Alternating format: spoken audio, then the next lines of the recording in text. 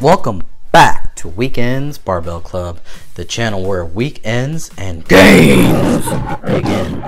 Back at it again, here we go, another product review. Today we're looking at the ProFitness knee sleeves. This comes in one pair, so it's great for basically knee support. So um, definitely if, if you're having problems with your knees, either just walking, running, anything really, um, when you're exercising, great great investment here. Um, it's pretty good value. So check it out.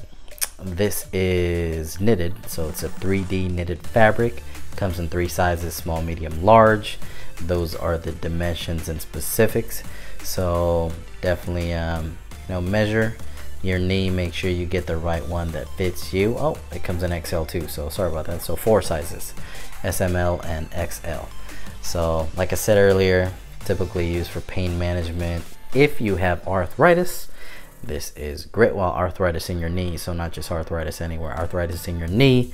This uh, definitely will assist with uh, pain relief, joint pain, if you're trying to recover from a surgery in your knees and you need some added support, you know, definitely check these out.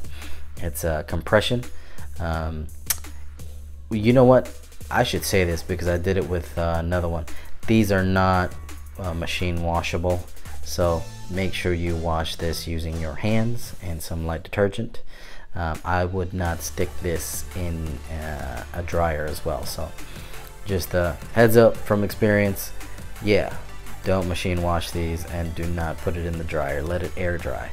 So hand wash and air dry. Anyway moving on. So today yeah make sure when you're putting your socks on clean between your toes. Yeah you don't want to get some funky stinky toes anyway so you can see right here pretty easy to put on. Um, got the left and the right.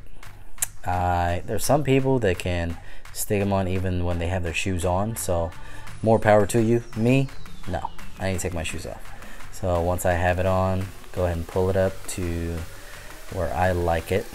And showing you whole 360 and how it looks there. All right.